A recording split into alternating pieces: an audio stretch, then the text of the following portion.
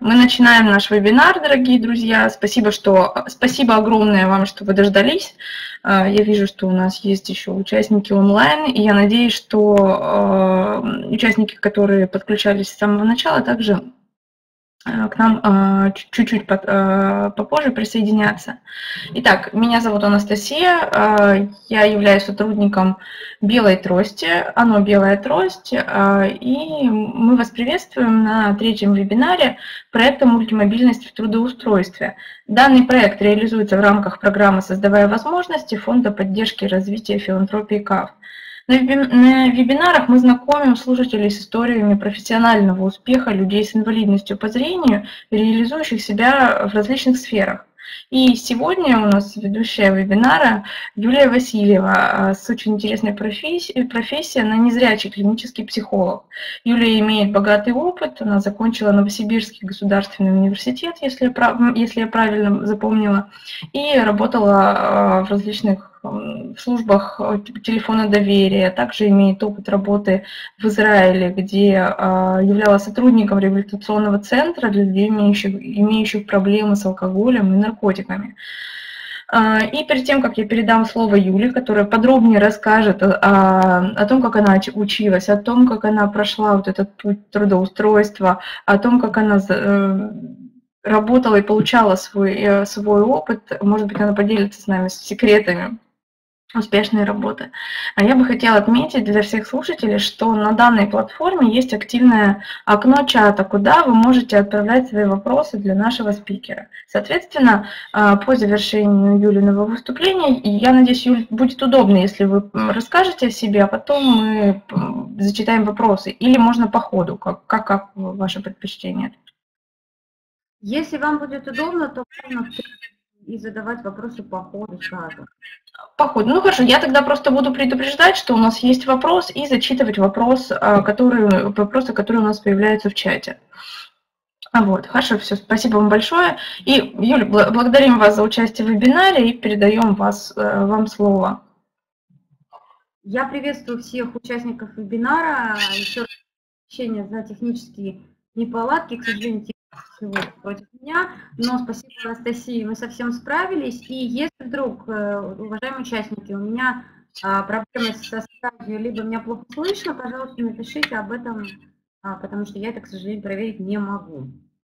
А, ну, я думаю, сейчас мы начнем, а если у вас есть вопросы, пожалуйста, буду очень рада на них ответить. Я, как правильно сказала Анастасия, закончила Новосибирский государственный университет, в 2008 году, то есть э, тогда это еще был специалитет, не как сейчас магистратура и бакалавриат, то есть 5 лет обучения а в обычном, собственно, вузе. До этого я училась в школе, в специальной школе-интернате, как и многие, я думаю, незрячие в то время. И, а, к сожалению, то, что я слышала от своих э, часто учителей, тех, кто работал нашей школе, училась я достаточно хорошо и часто слышала такую фразу, обращенную не только к себе, но и другим учащимся. Надо же, как жалко, умные дети, а все равно же потом пойдут работать на предприятие УПП. Э, честно говоря, вот это меня никогда не радовало. Э, как-то было всегда неприятно слышать такой, э, такой спич, да, такой крест будто бы на тебе ставят, что все равно ты никуда не денешься, ты все равно ты в системе, и против нее вроде бы идти не стоит. То есть на самом деле вот как раз проблема, мне кажется, начинается с этого настроя, потому что я знаю, что и сейчас в некоторых школах, например, моя бывшая коллега рассказывала, что в одной из школ и несколько лет назад их настраивали на то, что ну, максимум вашим достижением может быть массажный колледж или массажное училище. Это максимум, больше ни на что, друзья мои, не рассчитывайте. Вот это, конечно, неправильно. Если вдруг кто-то слышит меня из педагогов, Конечно же, человек должен стараться, а для того, чтобы он старался, ему нужна мотивация. Так вот, мотивации, честно говоря, не было. Но, конечно же, хотелось э, поступить выше.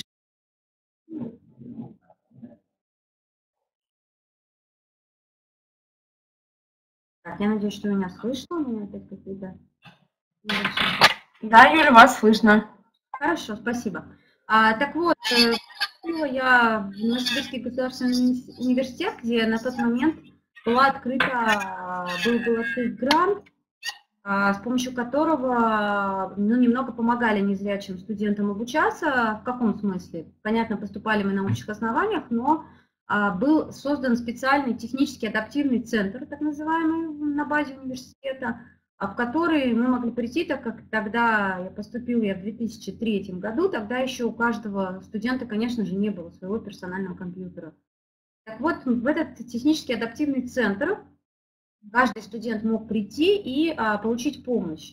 Там на тот момент было несколько компьютеров, несколько компьютеров с программами экранного доступа, было несколько брайлевских дисплеев и, что очень важно, был брайлевский принтер, на котором а, иногда нам могли распечатывать какие-то нужные материалы. Ну, то есть, собственно, и все. Учились мы в целом на общих основаниях, что мне лично очень нравилось, потому что ну, это немного другая тема, но я за инклюзивное образование, за то, чтобы люди могли все-таки учиться в общей среде, Поэтому учиться было комфортно, студенты помогали, преподаватели помогали. Ну, то есть как помогали, не, не относились, к счастью, вот так как-то снисходительно, там, завышали оценки и прочее, а просто, например, некоторые работы позволяли делать на компьютере, а не в печатном виде, или как-то еще. А, поэтому с учебой, с получением высшего образования проблем у меня фактически никаких не возникло. А вот потом началось, как говорится, самое интересное, потому что было такое ощущение у меня лично, и я слышала у некоторых тоже, что вот главное получить высшее образование. Ну уж если ты его получил, если у тебя есть диплом хорошего вуза, хорошей специальности, то, то с работой проблем особых не будет. Вот э, ты такой красивый, с хорошим дипломом, с хорошего, из хорошего вуза, а вуз у нас действительно хороший, а выходишь на рынок труда. Здесь вдруг встречаешься с некоторыми проблемами, потому что на рынке труда существует, а, большая конкуренция, но это еще ладно, а, б, стереотипное отношение к незрячим людям. Я думаю, это многим знакомо, кто искал работу. Я начала искать работу еще на пятом курсе, и э, очень быстро поняла, что простой задачи это не будет. Пройдя несколько собеседований, я поняла, что люди в первую очередь очень пугаются, очень удивляются, а у меня был даже один курьезный случай, когда я пришла на собеседование, молодой человек, который его проводил, увидев меня, сказал, а, а это вы к нам пришли на собеседование? Точно, вы к нам?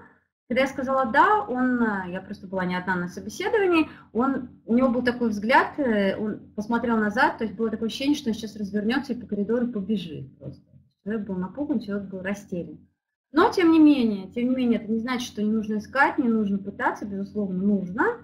Ну, я не знаю, наверное, о самих собеседованиях я расскажу чуть позже, потому что здесь у меня тоже очень богатый опыт. Сначала вкратце расскажу о своем профессиональном опыте работы. Опыт работы у меня был как по профессии, так и вне ее, а, потому что, закончив университет, даже еще на последнем курсе, я начала работать в качестве волонтера на телефоне доверия городском Новосибирском, а, собственно, просто сначала как проходила практику и получала дополнительный сертификат обучения, потом на какое-то время осталась работать, но поняв, что на работу принять они меня не хотят, причем мотивация у них была такая, ну, у нас работа по ночам, э, это небезопасно, а вдруг случится пожар или что-нибудь еще. В общем, ну, были какие-то странные отговорки, не похожие на правду. И поэтому я начала искать работу.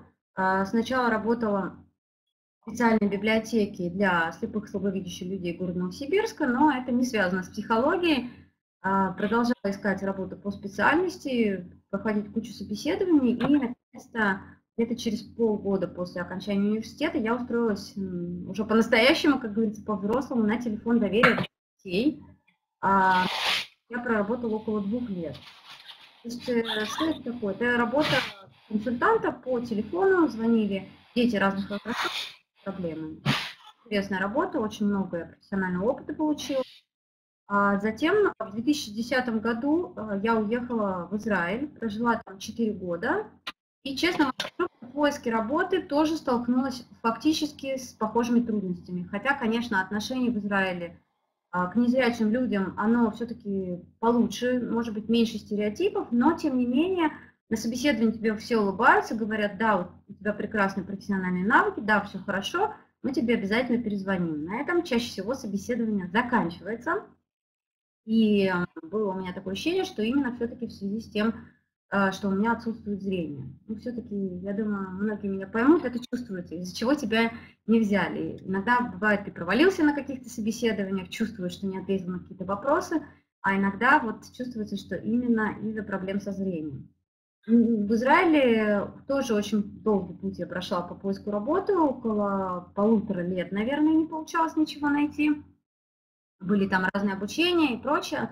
Но в итоге э, место работы тоже я нашла, а, и это одно из, пожалуй, моих самых интересных было мест и полезных работы. Это реабилитационный центр для людей с проблемами алкоголя и наркотиками.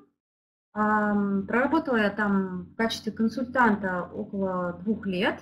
А, консультировала я как самих пациентов, находящихся на, на реабилитации, так и их семьи. То есть работа была интенсивная с семьей, с окружением пациента.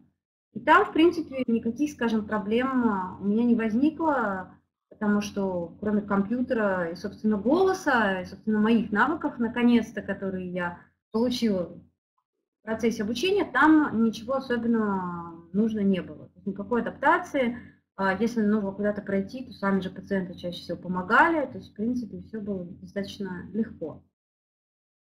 А затем а, я в 2014 году переехала в Москву. И в Москве сразу же, по сути, на второй же день я устроилась на работу, но только потому, что э, это учреждение, собственно, было партнером израильской клиники, и, в которой я работала. И они меня порекомендовали, я прошла собеседование, меня взяли на работу, но не в качестве психолога, а в качестве, скажем так, более консультанта по продажам, потому что я продавала услуги клиники. А, проработала я там всего три месяца, затем начался всеми любимый кризис в декабре, и а, руководство сказало, что, к сожалению, денег на тот проект, в котором участвовала я, у них больше нет. Здесь уже, э, к сожалению, моя, так сказать, профессиональная деятельность именно в качестве психолога пока, я надеюсь, что пока, а, прервалась, потому что все остальные места работы, в которых я а, работала последние три года, они не очень связаны с психологией, но, тем не менее, конечно же, был получен интересный опыт, а, полезный тоже. Э, но сейчас вот я снова нахожусь в поиске работы – опять э, новые проблемы, которых не было раньше, новые интересные открытия тоже, которых не было раньше.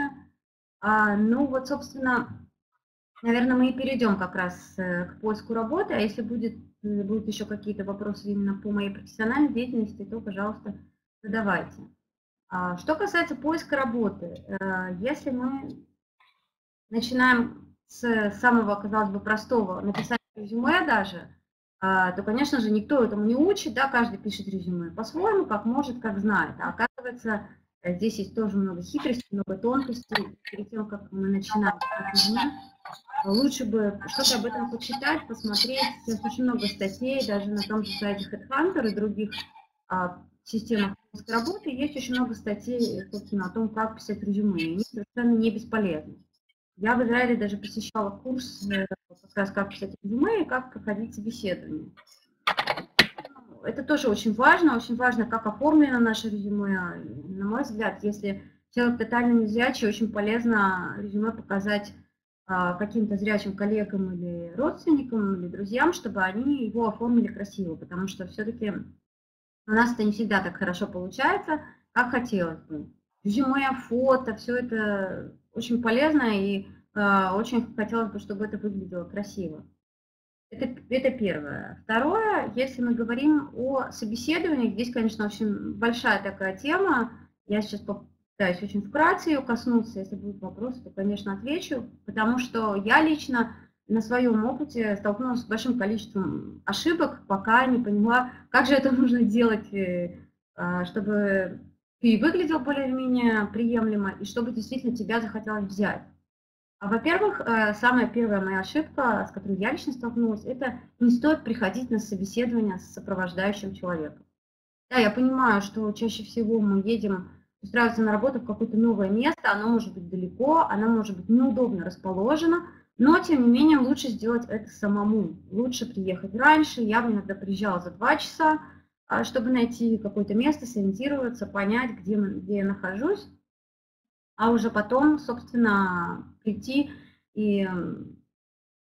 То есть, то есть когда, важно, важно, конечно же, как все мы понимаем, первое впечатление. То есть когда человек заходит за руку там, с кем-то, не знаю, с мамой или еще с кем-нибудь, то ну, выглядит он уже явно как не очень. Кажется, что этот человек, наверное, не самостоятельный. И смысле как раз не стоит пугаться трости, потому что многие думают, э, что вот если я приду на собеседование без трости, вроде как это будет выглядеть лучше. Трость людей пугает. С одной стороны, может быть, да, но с другой стороны, трость показывает вашу самостоятельность. То, что вы сами можете передвигаться по помещению, а, по комнате, до помещения и так далее. То есть здесь уже отпадает вопрос, кто вас будет водить за руку. Это, это первое. То есть все-таки, на мой взгляд, лучше сделать это самому, да, немножко помучиться, да, это не просто, но в конце концов воспринимайте это как прогулку или что-нибудь еще, а, чтобы сильно не нервничать перед собеседованием. А, второе, а, вторая ошибка, с которой лично я столкнулась, это неуверенность. То есть ты приходишь на собеседование, ты, ты переживаешь, ты волнуешься, ты очень хочешь, чтобы тебя взяли, соответственно, держишься напряженно, у тебя такая напряженная мимика лица, чего мы, к сожалению, сами не можем оценить часто со стороны, да, то есть сидишь весь такой зажатый, а, весь такой напряженный, и, конечно же, со стороны, наверное, это смотрится тоже не очень хорошо. Но, а, на мой взгляд, это только опыт. Э, то есть нужно нарабатывать вот этот опыт, не знаю, даже репетировать, может быть, иногда какие-то вот такие собеседования, диалоги с друзьями, родственниками, да хоть самим собой. Потому что, как мне кажется, это очевидно, но это очень важно и очень помогает. А я вот недавно пыталась посчитать, сколько примерно сотен собеседований мне пришлось пройти за фактически даже еще меньше, чем за 10 лет, а 9 лет, но поняла, что очень, очень много на самом деле, поэтому а, какой-то опыт явно уже есть, и какие-то вещи я уже вижу, где ошибки и, и, и что мне стоит делать. То есть, ну, третье, о чем я бы хотела сказать, это то, что очень важно а, подчеркнуть, собственно, то, почему тебя должны взять на работу. Да? Это, я думаю, везде пишут об этом. То есть нужно не стесняться говорить о своих достижениях, не стесняться говорить о своих достоинствах, конечно же, связанных с работой, потому что многие думают, что если я скажу еще и о том, что я умею вязать, играть на скрипке а, и так далее, и так далее, то это будет плюсом. Нет, плюсом, скорее всего, не будет. Нужно стараться подчеркивать достижения, конечно, профессиональной деятельности, то есть что я умею, какие у меня есть, может быть, сертификаты, какие у меня, может быть, есть, ну, скажем так, фишки, да, если можно так выразиться. Потому что некоторые минусы вполне профессиональной деятельности превращаются в плюсы. Например, в той же психологии а, многие говорят, что ну как же отсутствие зрения, визуального контакта ведь нет, а это так важно, а важно видеть, как человек при этом, не знаю, как он положил руку, что он в этот момент делает и куда смотрит. А, да, это важно, не, несомненно, но очень многие мои а, клиенты, особенно пациенты с проблемами, как алкоголем и наркотиками, мне постоянно говорили, что это плюс, как хорошо, что вы меня не видите. Во-первых, они говорили, что вас поэтому очень сложно обмануть, потому что я своих психологов обманывала вот своим внешним видом, да, своей там улыбкой или своим взглядом, и они верили, что, что я говорю, и их можно было завести куда угодно. Вас, говорит, этим обмануть нельзя. А во-вторых, очень многим людям достаточно комфортно, когда их не видишь, когда их не, не судишь по внешности, потому что у многих людей с проблемами алкоголя и наркотиками, как вы понимаете, бывает внешность уже не очень-то. И вот они очень рады, что можно чувствовать себя комфортно, спокойно, а на них их никто не оценивает как раз по зрению. Поэтому, в принципе, вы в любой профессии, на мой взгляд, можете найти вот такие плюсы. А, то есть, очевидно, вроде бы это минус, да, я не могу следить за лицом, за мимикой, за жестами, но вот, пожалуйста, это минус, который можно перевернуть в плюс. Собственно, а, идя на какую-то работу, как раз можно для себя вот эти плюсы найти, заранее подготовиться. Кстати, подготовка к собеседованию – это то, о чем я не сказала, это тоже очень важный этап. А, важно понимать, куда мы идем, важно посмотреть, э, не знаю, там сайт или какую-то информацию о компании, куда мы идем. Потому что иногда приходишь на собеседование, тебя спрашивают, а вы знаете, чем занимается наша компания? Вы знаете, какая у нас миссия, какие задачи, какие цели? И здесь некоторые так повисают, говорят, ну, наверное, это что-то такое связано с... Так вот, хорошо, если этот ответ будет четкий, такой грамотный, и работодатель увидит, что вы действительно заинтересованы, что вы понимаете, куда вы идете, а не просто ищете работу хоть какую-нибудь. Вот, это еще одна ошибка, с которой я лично сама столкнулась. А, опять еще, на мой взгляд, одна важная вещь – это а, отвечать или, может быть, даже предупреждать вопросы работодателя а, о вашем зрении, о ваших возможностях. Потому что многим работодателям как-то некомфортно или они стесняются задать вопросы типа, как вы будете работать на компьютере, или на каких-то других устройствах, как вы будете добираться до работы, как вы будете, можете ли вы работать в чат и так далее, и так далее. Так вот, если вы видите, что работодатель таких вопросов не задает, то не думайте, что ему просто неинтересно. Скорее всего, просто как-то а, боится или ему как-то некомфортно их задать. Так вот, поэтому можно в разговоре самому как-то упомянуть или даже показать, если у вас есть с собой какое-то устройство, что вот с этим я могу работать так-то и так-то, с другим я могу работать так-то и так-то, и, собственно, вот с этим, с этим у меня проблем не будет, а вот здесь и здесь, возможно, нужно подумать. Не нужно пытаться а, сделать вид, вот я знаю, что многие слабовидящие а, на этом попадаются, если можно так сказать, они иногда делают вид, что все хорошо. То есть они думают, а вот я сейчас приду, я буду без очков, и никто, наверное, не заметит, что у меня нет проблем со зрением. Так вот, друзья мои, заметит еще как. А, поэтому это все лучше, конечно же, каким-то образом озвучить. Хотя я понимаю, что шансы приема на работу при этом очень сильно снижаются. Кстати, а, вопрос о том, как а, себя вести до собеседования, есть разные мнения, говорить ли по телефону о том, что у тебя есть проблемы или не говорить. Так вот, мой опыт и мое мнение показывает, что не говорить, к сожалению. Хотя логика подсказывает, что нужно быть честным, но я, когда я пробовала говорить, меня не приглашали на собеседование в 100% случаев. Если я говорю, что у меня есть проблемы со зрением, ни один человек не приглашал меня после этого на собеседование. Если же ты не говоришь и приходишь э, к работодателю, да, конечно же, сначала это может вызвать шок и недовольство, а почему же человек не сказал, но а, в таком случае у тебя есть шанс произвести впечатление, потому что если я по телефону говорю, что у меня есть проблемы со зрением, то человеку, работодателю или HR может представиться некий, простите за выражение, инопланетянин, да, потому что кто такой человек с проблемами зрения? Что это вообще? Что с ним делать? Зачем он мне нужен? Он наверняка ничего не умеет, его нужно водить за ручку, а вдруг у него еще какие-то дополнительные нарушения? Нет, нет, спасибо, мне такой сотрудник не нужен. Так вот, чтобы такого не происходило, как, как раз а, я лично рекомендую не говорить об этом по телефону, то есть задать все интересующие вас вопросы, уточнения, потому что есть, э, например, вакансии, на которые нам изначально нет смысла идти, да, если мы понимаем, что там будет какая-то работа, например, там с кассой, с документацией, еще с чем-то таким, э, с чем мы работать не сможем, просто более подробно спросить о вакансии, спросить о своих обязанностях, и, соответственно, тогда уже решать, э, подходит нам это или не подходит, и стоит ли идти на собеседование. А еще один а, важный момент, который хотелось бы осветить, это, собственно, наше моральное состояние. О чем я уже говорила, да, идти на собеседование как можно более спокойным, но важно еще, как мы чувствуем себя после собеседования. Потому что я часто слышала э, от людей такую фразу, что ну вот я раз, два, три сходил на собеседование, меня не взяли, я расстроился и больше не хожу. Вот серьезно, есть такие люди, хотя кажется, что вроде бы, ну, такого не бывает. Так вот, э, ну, это тоже приходит с опытом. Я тоже после первых собеседований очень сильно расстраивалась. А сейчас я это воспринимаю как, э, ну, то есть я такую ставлю себе галочку и говорю, ну, хорошо, здесь, э, здесь не получилось, пойдем дальше. И плюс еще стараюсь анализировать э, каждое собеседование на предмет того, где я могла ошибиться. Потому что это очень полезно. Некоторые вопросы, например, ответы можно приготовить, ну, плюс-минус.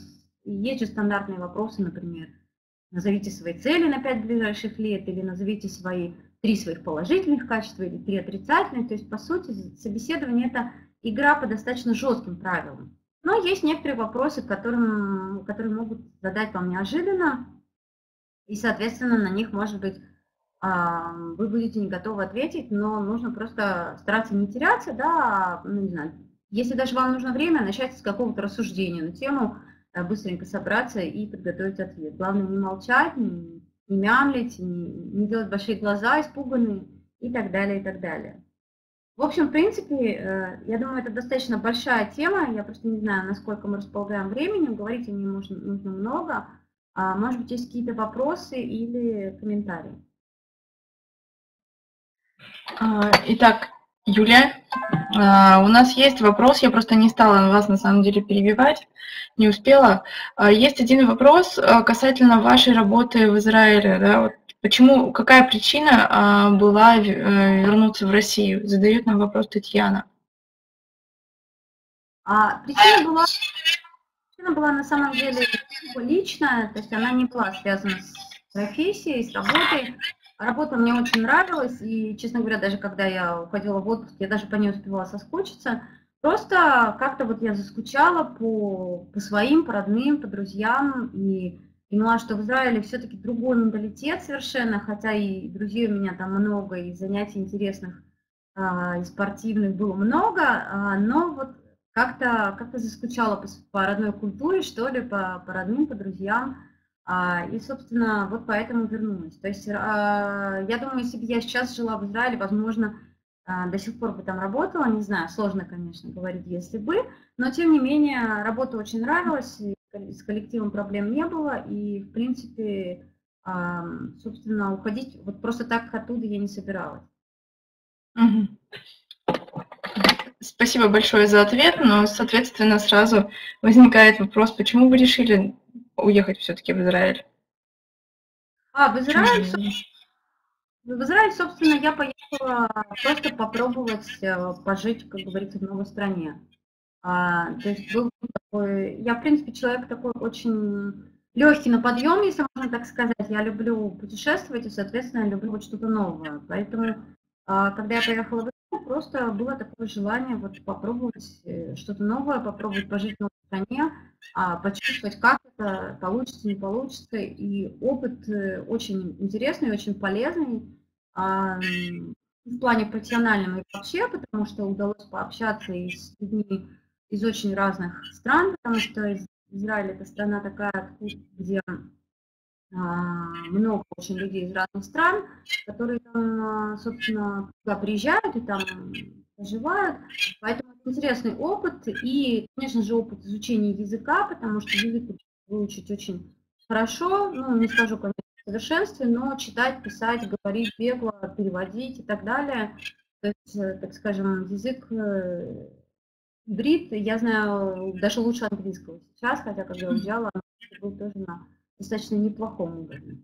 А, думала, что можно будет э, даже его использовать в России, но все-таки для России язык достаточно экзотический, достаточно редкий. В профессиональном плане очень сложно где-то найти ему применение.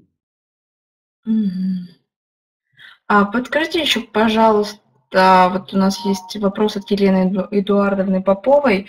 А, скажите, пожалуйста, а как в Израиле с доступной средой? В Израиле с доступной средой получше, чем в России, если можно так сказать. А, Все-таки, а, например, а, достаточно много волонтерских организаций, во-первых, которые работают с незрячими, причем работают на разные темы. Там и спортом заниматься гораздо проще, например, то есть доступность спорта тоже, конечно, там не, не в любом месте, но тем не менее я, например, спокойно ходила в бассейн, вот у нас так придешь в любой бассейн и скажешь, я у вас тут похожу, поплаваю, вот лично пробовала, не получается. То есть нужно как-то отдельно договариваться. В Израиле, пожалуйста, показали раз, другой, э, ты попросил там кого-нибудь, или сам посмотрел, собственно, как выглядит бассейн, раздевалка и прочее, и ходишь туда, что тебе, собственно, не запрещают. То есть просто могут там помогать, могут подсказывать, и все. А, соответственно, также, ну, просто спорт это близкая для меня тема, поэтому я, конечно, больше знаю об этом. в Израиле есть много возможностей заниматься спортом. А, например, перемещаться просто по улицам тоже в Израиле проще, потому что озвученных, тоже не могу сказать, что там все идеально. Конечно, там не все далеко перекрестки озвучены, но их гораздо больше. Я жила, например, достаточно в большом городе, и там даже там их было достаточно много. А озвученные пешеходные переходы, пешеходные переходы, где а, говорят, как, какую улицу ты сейчас пересекаешь, а, например, остановки оборудованы, не знаю, как это правильно по-русски называется, таким столбиком, который при нажатии кнопки говорит тебе, а, какой автобус примерно через сколько э, придет. А, также, например, транспорт более доступен, потому что, например, когда ты стоишь на остановке, подходит автобус, открывается дверь и объявляется какой-то автобус и куда он следует. Не надо подбегать к каждому автобусу и спрашивать, а что это. Если не очень шумно, то вполне возможно услышать а, этот э, записанный голос. То есть, да, есть, конечно, плюсы, безусловно. Что мне понравилось, что в Израиле дети незрячие с самого начала, они, собственно, ни в каких интернатах не учатся, если только есть какие-то глубокие дополнительные нарушения. Если ребенок только незрячий, он ходит в обычный детский сад, он ходит в обычную школу, и более того скажу, он ходит в армию. Незрячие люди ходят в армию, да, вместе со всеми. Да, конечно, люди там не стреляют и так далее, но проходят основную подготовку а, вместе со всеми. И, конечно, например, они могут там, а, не знаю, либо лекции читать, либо в какой-то офисной работой заниматься. То есть посильной для себя работы в армии все равно не зря человек заниматься может. То есть там никакого разделения в этом смысле нет. Это, конечно, для меня лично приятно. И еще у нас есть один вопрос. Э, подскажите, а какое отношение у нас в вузах к людям с ОВЗ? Именно интересует отношение зрячих студентов к людям с ограниченными возможностями. А, ну, сказать я могу, конечно, о своем вузе, в котором я училась. Э, у меня не было особых проблем э, в отношениях как со студентами, так и с преподавателями. А студенты, как потом мне рассказывали, уже когда мы с ними подружились, Конечно, вначале они немножечко тушуются, они как они говорили, что вот когда мы тебя впервые увидели, мы немножко не понимали, вот как с тобой быть, как к тебе подойти, о чем с тобой, грубо говоря, можно говорить, о чем нельзя говорить. А, но а, тогда, когда я училась, в нашем университете было достаточно немного незрячих. Насколько я знаю, сейчас уже все-таки а, людей с разными нарушениями стало больше в вузах, и вот в моем вузе не было проблем с этим. Преподаватели тоже относились э, все с пониманием, да, некоторые просто не знали, как себя вести, некоторые даже подходили ко мне и спрашивали, скажите, пожалуйста, вот что вам, чем вам можно помочь и как вам нужно облегчить процесс обучения. Были, конечно, иногда там непонимания, когда я писала лекции шрифтом Брайля, а, и один преподаватель, он был такой эмоциональный, он сначала не понял, что происходит, и сказал, что это за звук, но вот если мы все сейчас будем сидеть и так стучать. Но тут э, вся моя группа, это уже был где-то второй или третий курс, конечно же, стал на мою защиту, и преподаватель, ну, здесь, наверное, может быть какая-то моя ошибка, преподаватель, конечно, извинялся и говорил, что я не знал, что это такое, да, что это вообще за прибор, потому что я думаю, это сейчас нет с этим проблем. Можно взять компьютер, ноутбук, телефон, что угодно. Большинство студентов вообще сейчас, мне кажется, именно так лекции пишут. И тогда проблем не будет. А раньше, да, вот этот прибор, грифель, конечно, наверное, были некоторые. Ну вот у меня лично только одна такая вот была проблемка, и все, больше, в принципе, никакого особого отношения ко мне не было. Угу. Спасибо вам большое за ответы. Я полагаю, мы можем продолжать. И поменять. А, продолжать, ну, вы рассказывали о дальнейшей вашей работе, о том, как э, каким образом вы, э, и с какой мотивацией вы идете на собеседование, как пришли, э, на самом деле тоже очень интересная тема, потому что она близка, мне кажется, всем, кому, э, кто сталкивается с собеседованием и с отказами. А, то есть у вас на самом деле такой очень уникальный опыт, э, потому что вы, правда, пытаетесь при, применить это в дело и использовать все положительные, отрицательные моменты. Вот, а, то есть а, насколько, скажем так, еще у меня самый лично созрел вопрос, примерно когда у вас случился вот этот переломный момент, когда вы перестали переживать э, так э, о том, что вот вас не приняли, и все, вы там ничего не можете, ничего не... не почему?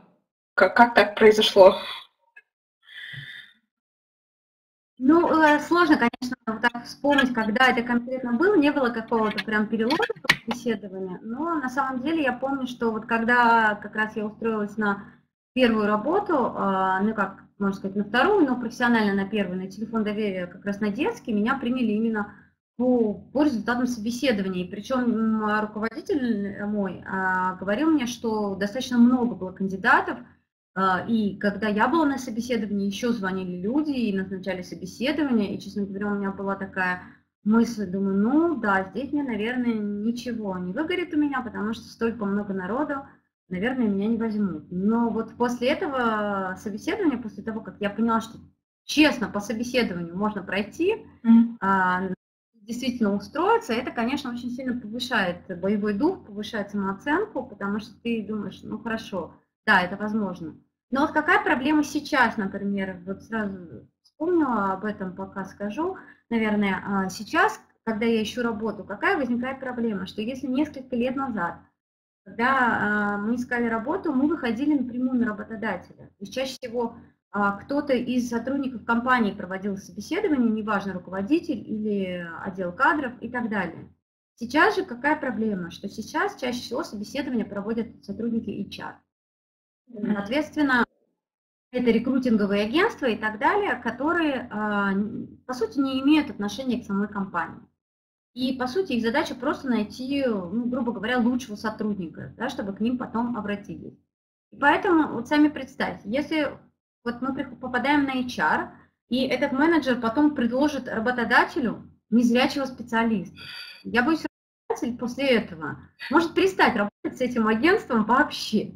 Поэтому я могу понять этого менеджера, который не рискнет, пожалуй, предлагать работодателю незрячего специалиста или специалиста с еще какими-нибудь нарушениями. То есть это мне очень даже понятно, но вот как раз пока как обойти эту проблему и как с ней справиться, а, я пока как раз вот сейчас пытаюсь, э, нахожусь как раз на таком этапе а, раздумий и попыток разных, э, каким образом можно обращаться напрямую к работодателям. В больших компаниях это фактически невозможно, компаниях поменьше можно попытаться это сделать, но тоже не всегда получается.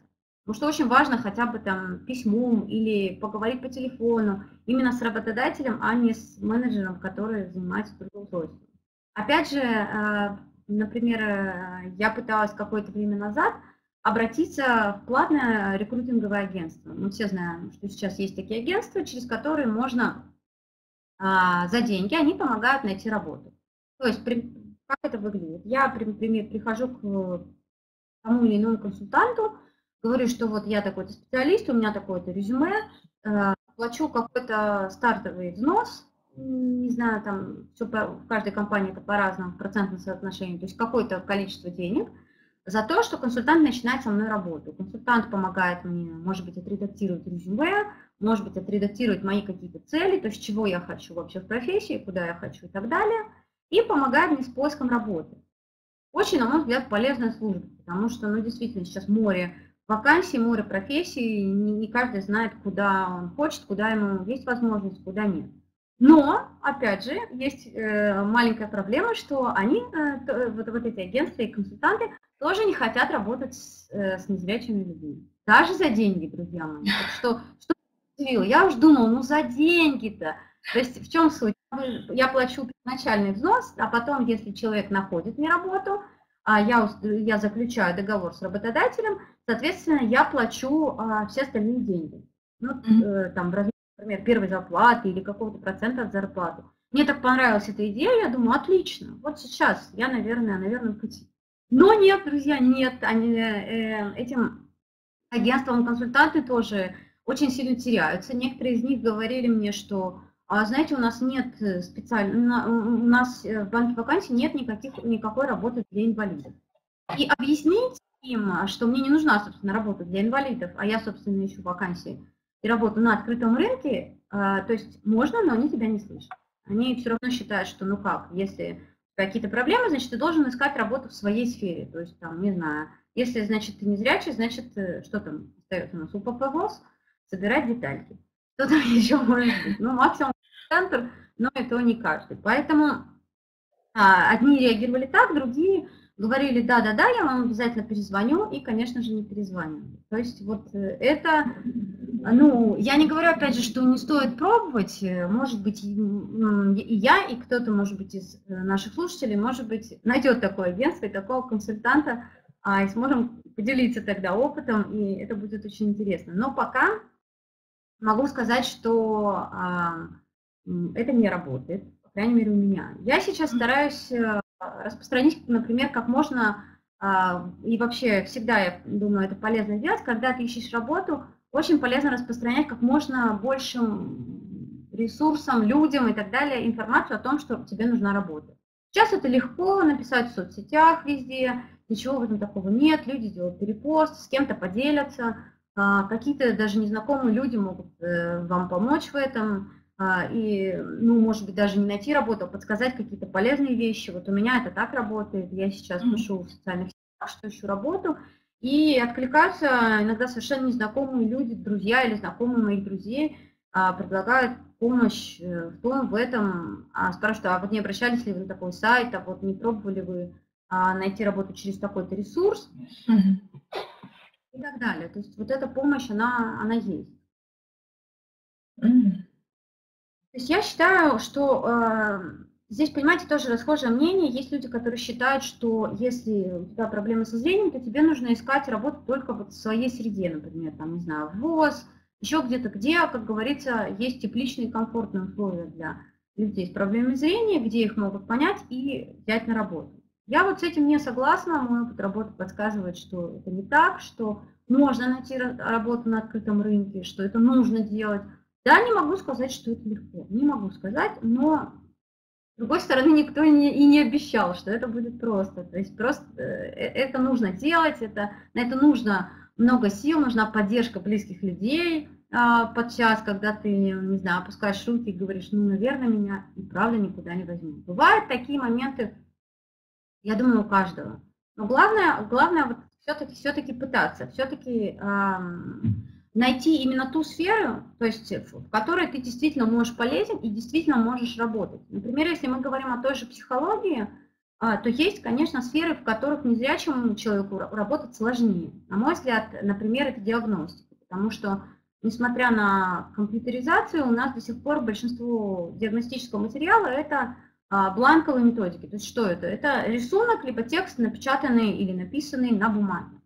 Соответственно, я даю этот листок бумаги, а, либо несколько человек их от руки заполняет, отмечает какие-то галочки или пишет, а что мне с ним сделать потом. То есть как мне его обработать, как мне его а, получить обратную связь. Если бы это все было на компьютере, в программах а, было бы прекрасно и удобно. Но, к сожалению, до сих пор у нас еще все это на бланках, на листочках и так далее. С этим справиться сложнее. А вторая сфера, на мой взгляд, где незрячим людям работать сложно, но я уже слышала, что есть люди, которые работают, это работа с детьми. Потому что все-таки с ребенком действительно нужен более визуальный контакт, нужно смотреть на то, как он, если совсем маленький ребенок, как он играет, как он себя ведет с родителями, а, что он делает, какие у него моторные навыки, движения и так далее. А здесь все-таки действительно зрение важнее, скажем. Но, опять же, я знаю случаи, когда люди работают с детьми, а, и у них это получается. А, поэтому, конечно же, тоже можно пробовать. Сферы, в которых, на мой взгляд, психологии ну, проще, что ли, может быть, как-то применить свои навыки нам, незрячим людям, это, конечно, консультирование и разные виды терапии.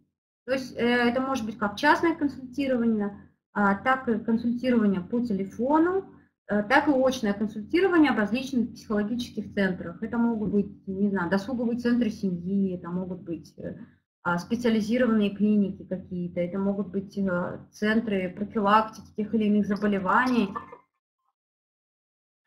и, или что-то еще. То есть, в принципе, профиль достаточно широкий. Это если вы именно клинический психолог, я сейчас не говорю об организационных психологах. У них немножко другая сфера работы, но, собственно, клинический психолог – это, на мой взгляд, в основном консультант, а сфера, в которой мы можем консультировать, собственно, она очень разная. Причем а, консультации могут быть как индивидуальные, так и групповые, то есть работать с группой тоже не нужно бояться. Есть такое заблуждение, что как же я буду следить за группой, за ними надо смотреть, они там что-то делают непонятно что. Я работала с группами, и очень даже комфортно можно работать с группой. Есть разные виды контроля группы, не только визуальные, а и с помощью речи, с помощью диалога. Иногда даже некоторые участники группы сами помогают тебе контролировать группу. То есть все это можно построить, все это реально. То есть вот, скажем, если мы говорим о психологии, то, на мой взгляд, э, основные области работы это вот разные виды психотерапии, опять же, даже, даже что, уже, что немного, на мой взгляд, сложнее, но все равно возможно, работа в медицинских учреждениях, то есть работа в паре с, с врачом. То есть как часто работают, например, в психиатрических клиниках, неважно, зрячий или незрячий, психолог всегда работает, а, либо психотерапевт в паре с э, врачом-психиатром. То есть психиатр занимается в основном медикаментозным лечением, а, а вместе вы, вы разрабатываете какую-то программу а, консультирования, программу лечения и так далее. То есть да, даже это возможно.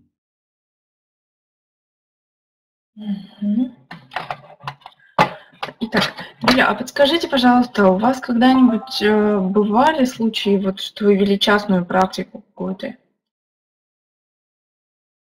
Частную практику как а, нет, но у меня были, скажем, частные консультации, когда клиенты, которые находились у меня вот в Израиле на реабилитации, а, потом они выходили и просили меня, а, либо их члены семьи, либо они сами а, просили меня проводить с, ним, с ними консультации. Это было можно, то есть я это узнала. Алло, Юль. Алло, да, я здесь. Слышно меня? Да, да, да. Пропали просто. А, вот, собственно, то, то есть я не могу сказать, что я, у меня есть богат частной практики, то есть я, честно говоря, сама не любитель вот, э, поиска клиентов, да, как раз, э, то есть, скажем, продавать свои услуги я не очень умею, а, и мне несколько раз э, предлагали, спрашивали, почему же ты не занимаешься частным консультированием. Ну, во-первых, потому что для, для того, чтобы начать частное консультирование, нужно достаточно много разных документов, разрешений и так далее. Это не просто так. Э, взял себе клиентскую базу и, пожалуйста, консультирую. Хотя некоторые делают и так тоже. Это первое. А второе, вот честно говоря, мне гораздо проще работать где-то в какой-то организации, где есть конкретные а, правила, конкретные обязанности, и я могу работать с конкретной категорией клиентов, чем а, самому искать себе базу. А, иногда, не знаю, там, мне иногда, я понимаю, что это субъективное мнение, но мне иногда кажется, что работая частным психологом, иногда придется, ну не знаю, там, выкачивать деньги из клиентов, назовем это грубо. Вот тебе человек, да, а ты ему говоришь, ну, слушай, у тебя еще столько проблем, тебе нужно походить ко мне еще с полгодика. И, если честно, у меня были клиенты, которые мне об этом рассказывали, что прям в открытую клиент, э, психолог после первых там двух консультаций об этом на это очень сильно намекал. Так вот, мне бы не хотелось этим заниматься, честно говоря, поэтому с частной практикой только вот какие-то отдельные, отдельные консультации отдельных клиентов, которые настаивали на том, что им это нужно. Угу. Ну, то есть, соответственно, я так понимаю, бывали случаи, когда клиенты, э, пообщавшись с вами, там, спустя какое-то время возвращались к вам же, да, вне зависимости от вашего места работы. Да, такое бывало. Действительно, в Израиле клиенты после записки некоторые продолжали, а, а, просили меня консультацию, продолжали ко мне приходить, либо их семьи, вот сейчас часто очень а, пациент выписывается, а, например, родственники пациента, там, родители или супруги, очень нуждаются в консультации, а как теперь вести себя с клиентом, как э, ему помогать и так далее, и так далее. То есть такое, конечно же, бывало. Бывало и когда звонили через полгода, через год, и тоже спрашивали, а можно ли снова ходить на консультации. То есть, э, ну, это так же, как с любым, наверное, врачом или любым специалистом, а, люди все равно запоминают, если их что-то устроило или понравилось, ты через какое-то время, да, вспоминаешь об этом, звонишь и говоришь, а вот нельзя ли еще получить мне вот эту услугу. И я думаю, тот, кто занимается частной практикой, а, например, репетиторы или также частные консультанты, у них как раз так и происходит. Человек... Бывали, опять же, случаи, вот, э, что называется, сарафанного радио, да, когда а, клиенты, например, передавали информацию каким-то своим друзьям, знакомым, и они потом звонили, говорят, вы знаете, мне тот-то, тот-то рассказал, что он приходил к вам на консультацию, а можно мне тоже? Вот такие условия, а можете меня взять тоже? Я бы тоже хотел. То есть такое тоже, конечно же, всегда бывает. Хорошо, а подскажите, вот, э, насколько вам было комфортно работать с людьми, вот, э, с наркозависимыми и э, с зависимыми от алкоголя людьми? Ну, то есть это же была достаточно новая сфера, я так понимаю, когда вы устроились в реабилитационный центр в Израиле. Нет, не могу сказать, что это была новая сфера. Вот я, наверное, не упомянула об одной вещи, которые, то есть о своей дипломной практике. Как раз тема моей дипломной работы, когда я училась в университете, а, была связана с э, наркозависимыми людьми. То есть я начала еще с четвертого курса, заинтересовалась темой а, зависимости и, собственно, начала проходить практику в наркологическом диспансере. И там а, и проходила и преддипломную практику, и как волонтером немного работала. И, собственно, писала диплом вот на базе, то есть, грубо говоря, исследовательская база у меня была тоже в этом, в двух даже наркотических диспансерах. Мне, в принципе, это всегда было интересно и всегда как-то близко. Многие меня спрашивали, а вот ты не боишься, тебе не страшно с такими людьми, они бывают агрессивные, они бывают э, немного не в себе и так далее. Но меня как-то это никогда не пугало, и, может быть, поэтому у меня никогда не было никаких эксцессов. Я спокойно оставалась в комнате наедине с людьми в разных состояниях. И иногда они действительно могут быть агрессивными, иногда они могут настроены негативно и на лечение, и на реабилитацию, но у меня лично никаких проблем, там, не знаю, некоторые рассказывают, когда их пытались а, там как-то напасть на них, как-то ударить, таких проблем у меня никогда не было с этими людьми, всегда было с ними как-то некомфортно работать.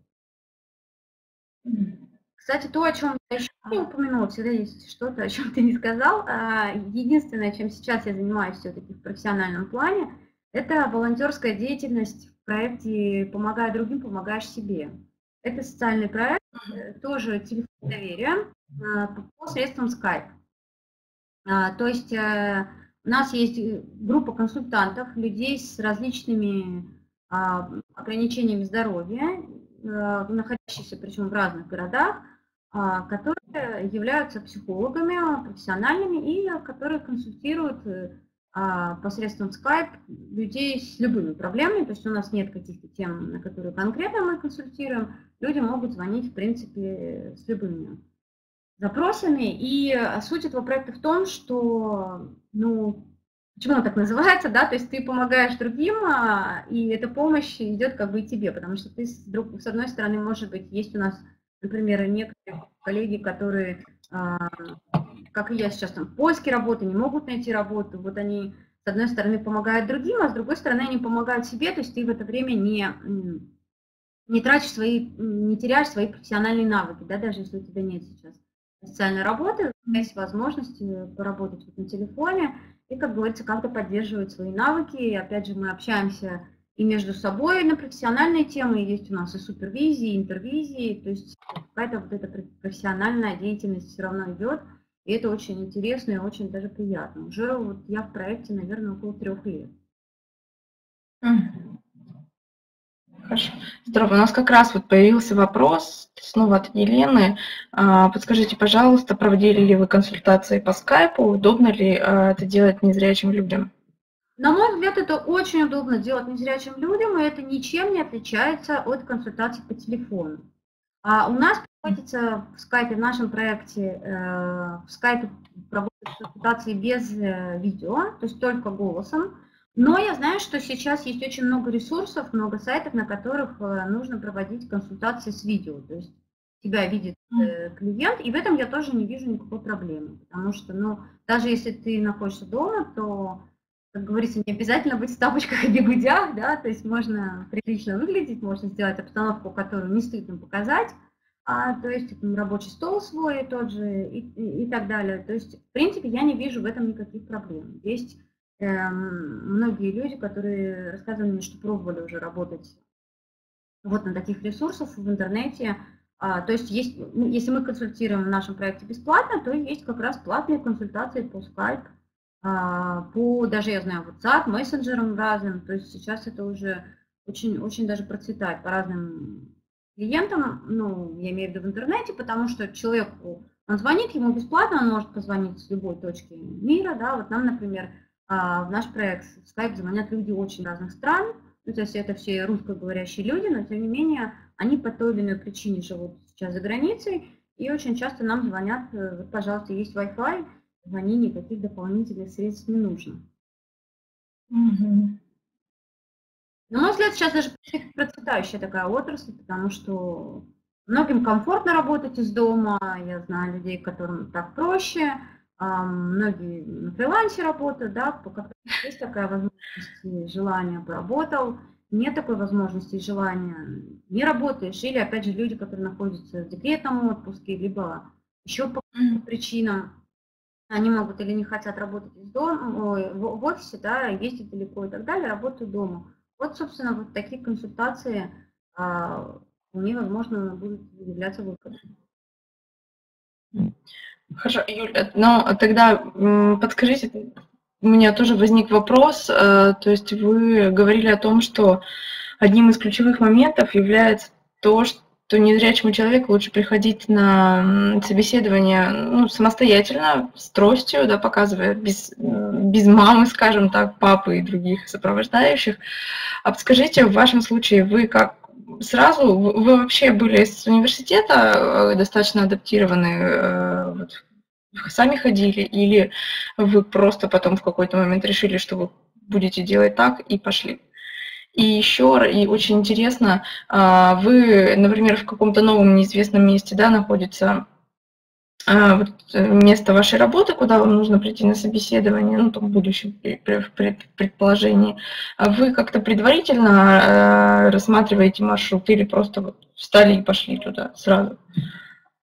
Могу сказать, что мне, наверное, повезло в плане обучения пользованию тростью, потому что я знаю, что в России это у нас большая проблема – к сожалению, потому что очень много людей достаточно поздно начинают ходить с тростью. В школах у нас мало где обучают. В моей личной школе я вообще первый раз увидела трость, наверное, может быть, в возрасте 16 или 17 лет вообще увидела что-то такое, а до этого я всем говорила, что да я никогда не буду ходить с этой уродливой палкой, ну что я молодая девушка, я буду ходить как старушка с клюкой, я думаю, это многим знакомо многие, у многих э, есть вот такая мысль, что это же некрасиво, все будут тыкать пальцем, и говорить, господи, да что же это такое, я не буду с ней ходить никогда.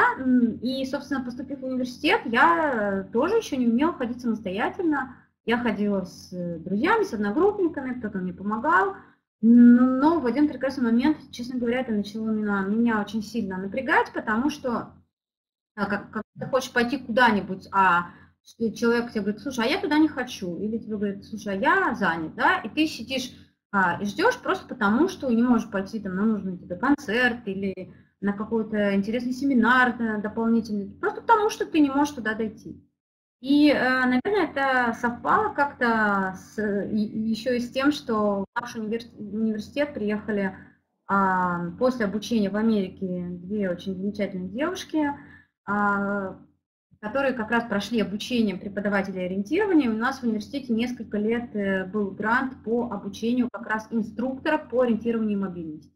То есть они как раз приехали из Америки с навыками, да, и обучали а, инструкторов ориентированию и мобильности. А тренировались они как раз на нас. То есть мы, э, те студенты, кто, которые тогда обучались в университете, с удовольствием стали вот, подопытными кроликами, если можно так выразиться, вот э, тех новых инструкторов. И я вот, собственно, где-то со второго курса только начала обучаться ходить с тростью. Помню, как это было психологически сложно, э, ходить в среде студентов, э, вокруг все молодые люди, ты ходишь с тростью, до этого э, ты никогда с ними ходила, все привыкли тебя видеть, хоть и понимать, что ты не видишь, но трости у тебя никогда не было. А тут ты ходишь в молодежной среде, среди знаю, красивых молодых людей, и ходишь с этой тростью, было очень сложно психологически, но, а, к счастью, помогли мне а, и мои близкие люди, которые мотивировали меня, говорили, да, что это нужно, что это правильно. И, честно говоря, вот я до сих пор помню свои первые самостоятельные походы. Это было настолько сначала сложно, а потом это было настолько фантастически. То есть ты понимаешь, что это круто, что просто я могу ночью сама, не знаю, пойти в магазин, вот захотелось мне ночью яблоко. Вот просто захотелось, ниоткуда. Я взяла и пошла и купила его себе сама. То есть это было очень здорово. И, собственно, с использованием трости открываются, на мой взгляд, вообще неограниченное количество возможностей, а, потому что ты можешь все. То есть можешь поехать, пойти куда угодно, можешь путешествовать. Ну, честно, как это не звучало, это действительно новый мир, и это очень важно. Если говорить по поводу собеседований, то как раз когда я заканчивала уже университет и начинала искать работу, с тростью я уже была на «ты», и а, было у меня пара собеседований, на которые я ездила как раз не одна, и как раз после этого я поняла, что это ошибка, и что делать это не стоит. Да, это легче, да, это проще. Некоторые даже делают так, что, не знаю, там, доезжают до учреждения с кем-то, а потом заходят одни, тоже как вариант, почему бы нет. Но все-таки, конечно, лучше делать это самому. А как обычно делаю я? А, я маршрут заранее не рассматриваю, то есть не, не выезжаю туда, там, например, за день или за два, а, но, например, узнав адрес места, куда мне нужно будет ехать, я стараюсь э, либо в интернете посмотреть, где это примерно находится, либо, может быть, даже у кого-то просить, там, просить посмотреть мне по карте, или сама смотрю по Дубльгиз и другим приложениям, что, что, что есть рядом, например, какая ближайшая станция метро, или какое, есть какие-то рядом ближайшие ориентиры большие, например, торговые центры, Макдональдс или какие-то там сетевые а, кафе, рестораны, то есть что-то, а, на что мне потом можно будет ориентироваться. И, а, например, если, если мы берем Москву, то здесь, конечно, проще, то есть ты знаешь какую-то станцию метро, ты туда приезжаешь, а уже оттуда, например, э, то есть я обычно, я очень много пользуюсь помощью людей. Как пользуюсь? Я просто спрашиваю. То есть если я не знаю, куда мне пройти, я просто могу спросить, а вот знаете, мне нужен выход из метро в сторону там, магазина Евросеть. Мне говорят, а вам направо. Или, а я не знаю. Да? То есть у меня нет проблем спросить, я могу спокойно спросить, и кто-то может либо подсказать, либо даже часть пути проводить, сказать, а мне тоже туда, хотите, мы с вами вместе пройдем. Или вот вам, например, мне объяснили часть дороги, я прошла ее, дальше опять встретилась с непониманием. Пожалуйста, я опять могу спросить. Или опять же сейчас есть навигаторы, что тоже очень сильно облегчает жизнь. А, можно забить точку в навигаторе и, собственно, идти по нему. Конечно, это тоже не значит, что навигатор поведет вас прямо к двери кабинета желаемого. Нет, можно иногда поплутать вокруг э, этого здания, но, тем не менее, помогает тоже сильно. Я стараюсь на собеседование приезжать очень-очень заранее, если есть такая возможность, прям ну, не знаю, за час, за два, потому что если я быстро нашла, то я лучше там погуляю или где-то посижу рядом, попью кофе, или поготовлюсь к собеседованию, в общем, найду чем-нибудь, просто поболтаю с кем-то по телефону. То есть лучше я буду уже рядом, и спокойно, когда будет мое время, за пять минут я зайду, и все это будет без опозданий. Чем потом бывали у меня моменты в начале, когда это не предусматривала, и потом ты звонишь, извиняешься, говоришь, а вот ничего, если я приду чуть попозже, и, или потом, или завтра, и это, конечно, уже портит впечатление. А, человек уже понимает, начинает думать, что ты какой-то необязательный, безответственный, и, наверное, не стоит тебя приглашать.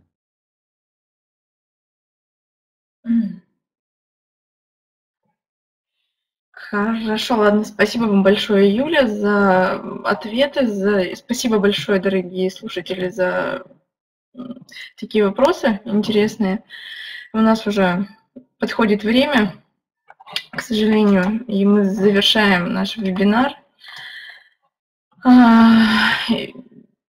Я бы хотела такой небольшой анонс дать, что у нас вскоре будет э, тоже мероприятие, посвященное э, вот этому же проекту, э, именно трудоустройству, мульти мультимобильности в трудоустройстве. Есть, Юля, вам тоже большое спасибо за то, что вы очень много аспектов, много нюансов рассказали о собеседованиях, именно о том, как нужно делать, как вы делали, поделились своим вот таким богатым опытом, потому что, честно говоря, он даже есть не у, всех, не, не у всех далеко.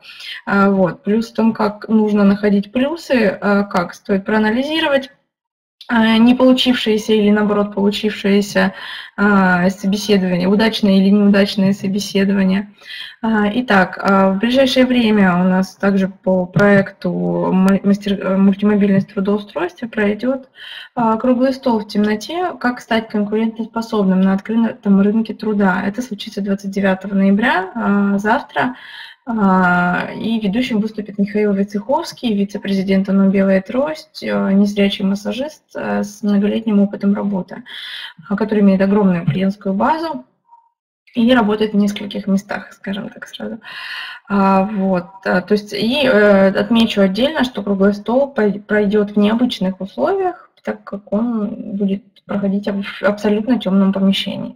То есть такой для зрячих людей подобные мероприятия а, это возможность э, погрузиться в, в, во что-то, в какие-то новые условия для незрячих э, людей. Это возможность и понимание столкнуться с человеком, который имеет опыт, это, и получить, перенять этот опыт.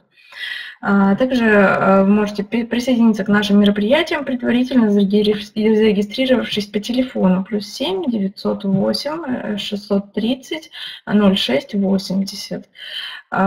И следующие вебинары от профессионалов а, с инвалидностью по зрению состоятся в декабре.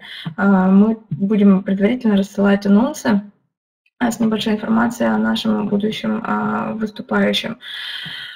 И материалы данного вебинара мы обязательно запишем и выложим на канале YouTube с Юлей, соответственно, с, Юлей вы сможете связаться. Мы оставим там координаты. Я надеюсь, Юля, вы не против. А, да, конечно. Если к вам Конечно же, я как раз... Какие-то вопросы? Конечно, конечно. Хотела как раз э, поблагодарить, во-первых, э, вас, Анастасия, Екатерина, и всех, кто участвовал вообще в вебинаре, потому что вы меня пригласили. На самом деле опыт для меня был тоже очень интересный, полезный. А, во-первых, интересно об этом говорить, во-вторых, э, когда рассказываешь, сам как-то по полочкам все это раскладываешь. Спасибо всем, кто присутствовал на вебинаре. Еще раз прошу прощения за технические неполадки. И, конечно, со мной можно связаться и в социальных сетях, и по e-mail, по телефону. А, с удовольствием пообщаюсь и поделимся с вами каким-то интересным опытом вашим и, может быть, моим. Хорошо. Спасибо вам, Юля, еще раз большое. И благодарим также благотворительную программу «Давая возможности» Фонда поддержки развития филантропии в рамках а, которой проводятся наши вебинары. Итак, все, мы, мы завершаем. Всем до свидания. И э, в скорости э, ссылку на запись мы также разошлем по нашим рассылкам. И я думаю, Юля, вам тоже будет интересно получить ссылку. Мы отправим ее вам обязательно, чтобы у вас был э, ваш собственный вебинар. Спасибо, Спасибо большое. большое. Всем хорошего дня. До свидания. До свидания.